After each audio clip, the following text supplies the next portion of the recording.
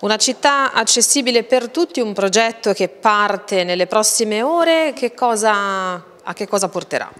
Porterà una mappatura della città in questo momento partendo dai luoghi pubblici, il comune, parchi, le chiese, le piazze, insomma tutti i luoghi della comunità per capire quanto sono accessibili per le persone con disabilità o anche per capire come possono essere migliorati nella loro accessibilità. È un primo passo verso l'idea di una città completamente a misura di cittadino che è accogliente per tutti e che al di là delle differenze riesce ad essere vivibile per ciascuno.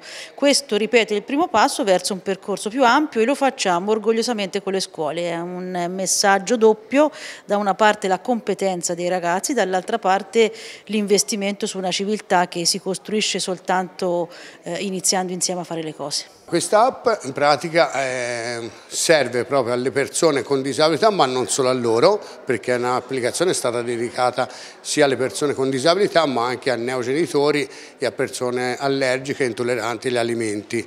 Niente, questa cosa che andremo a fare è una mappatura insieme agli studenti di alcuni istituti qui del territorio dove andremo a fare una fotografia nel dettaglio di ogni singola attività dello stato attuale, in modo che la persona con le proprie esigenze può valutare se andare in questo luogo oppure no.